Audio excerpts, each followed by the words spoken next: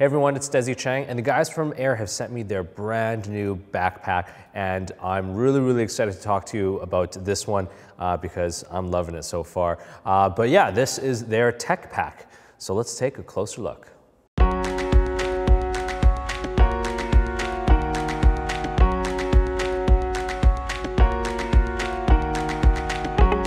All right, so first off, let's talk about how good looking this bag is. Um, it's, it's one color, it's black, it's sleek, um, it's, it's got a beautiful design. It has this uh, weatherproof coating on it, um, and it has a YKK AquaGuard zippers throughout, uh, so you don't have to worry about water seeping in. Um, and yeah, so let's go through some of the features of this bag. So let's start off with the back. Actually, let's start with the top first.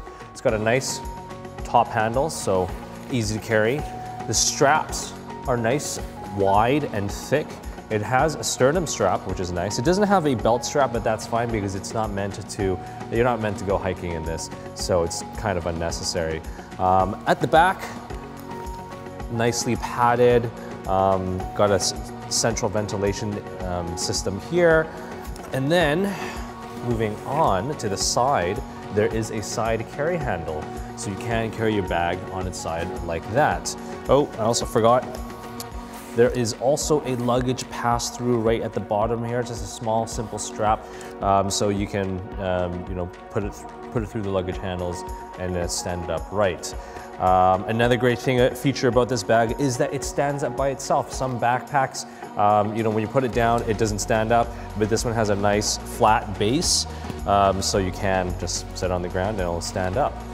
So, going around uh, from this side, on, on this one side here, there is a small zipper. Um, it's not huge, but you know, this is a large enough to put like, you know, a Swiss Army knife. I have a Leatherman here, um, same thing.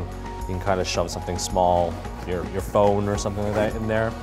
Um, and then on the opposite side, uh, there is water bottle uh, pocket. This is great because it's uh, stretchy so that, uh, you know, if you have a bigger water bottle or a small, smaller water bottle, um, that is not a problem. Let's move on to the front compartment. So this front compartment, uh, it goes from top all the way down to the bottom, has dual zippers, so you can open it on either side. Um, and so this is where you would put your tech accessories. Um, at the very top, there is a zipper here, um, so you can put, you know, money or uh, the things that you want to secure. It also has a uh, latch thing if you want to put on your keys or anything like that. Um, got some pens, a couple holders for your cords or your power adapter for your laptop, or you can put your sunglasses.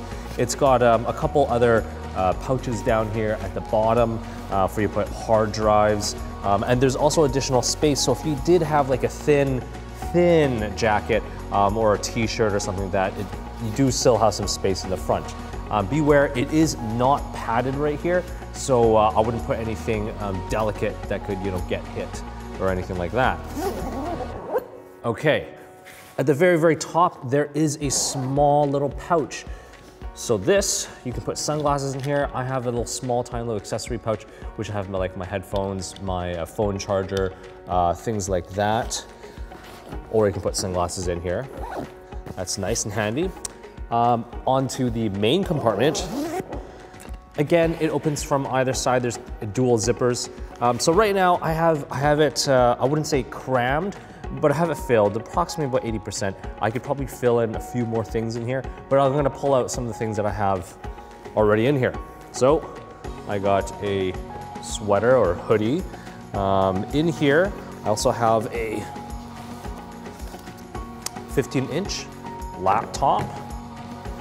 Also, there is a spot for you to put an iPad. And um, there is, so I'm a photographer, so I like to have cameras in here. So I actually put a small little camera insert. This one is by Tenba. And um, you know, you can put it, it fits right into the very bottom. So you know, um, I wouldn't say it's it's too tight if you had like a full frame DSLR, like a Canon 5D or Nikon uh, D750, D810, things like that. Uh, it's a bit too tight for that. But if you had a mirrorless camera, such as like a Sony A7 um, or like a Fuji, uh, or Olympus or even one of the Panasonic cameras, uh, they can fit in here and, and, and in here, no problem with the laptop and also with the iPad. So um, nothing more than a mirrorless, I would say, you can fit in there. And there's also room for additional lenses. And then once you kind of close it, you can stack things on top of it. Um, also inside here, it's a kind of tough to show, but there are two small little stash pockets uh, for you to put things like maybe a hard drive uh, or things like that. Also on the inside there is kind of there's a hidden zipper in there. So if you had something that you really really needed to secure um, you have space for that in there. Um, and then at the back zipper here um, you know I put my documents in here. Uh, you can put your laptop in, in this back sleeve as well, but do beware that um, at the very bottom of it, it's not 100% fully padded. So if you uh, drop your laptop in or if you set your um, bag on the ground hard, um, you know, it may, it may you know, hit the laptop at the bottom right here. My suggestion is if you put your laptop into this main compartment um, because it is suspended so that if you do drop your laptop in there, it's just gonna hang there and it's not gonna hit, you know, uh, the bottom of the ground or anything like that. But yeah, uh, that's essentially it about this bag. Um, I love it as an everyday bag. Um, love carrying it around. It's it's simple, it's sleek. It has, you know, it's very very quick for me to access my documents, my hard drive, my charger, um, my uh, laptop, uh, things like that. Anyways, that's essentially it for all of the features.